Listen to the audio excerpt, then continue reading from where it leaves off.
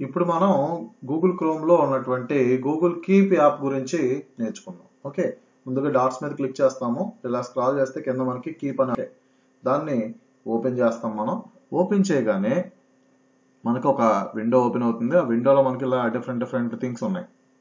Reminders edit labels archives okay?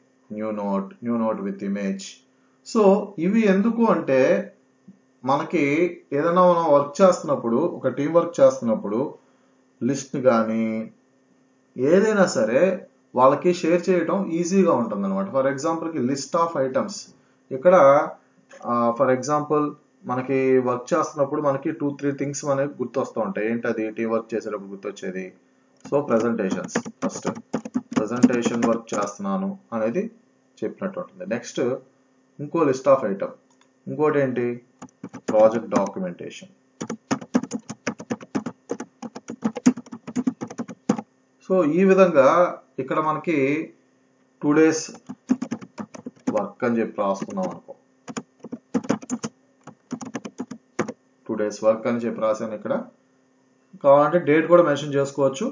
So presentation project documentation అని చెప్పి ఇలాగ మనం డిఫరెంట్ డిఫరెంట్ థింగ్స్ని క్రియేట్ చేసుకోవచ్చు. అదే విధంగా ఇక్కడ ఇమేజ్ యాడ్ చేసుకోవచ్చు. ఏం వర్క్ చేస్తున్నాం ఏంటనేది? ఎక్కడ ఉన్నాం అనేది కూడా.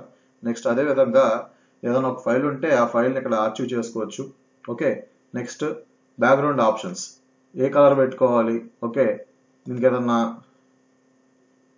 వర్క్ చేస్తున్నాం కాబట్టి పెన్సిల్ కలర్ పెట్టాను.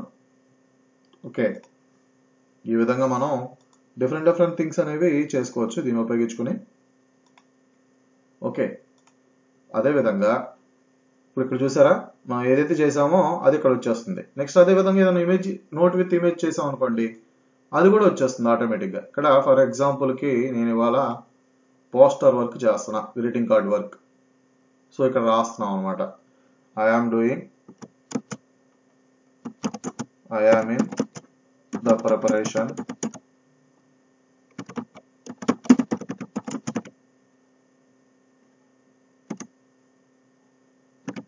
greeting cards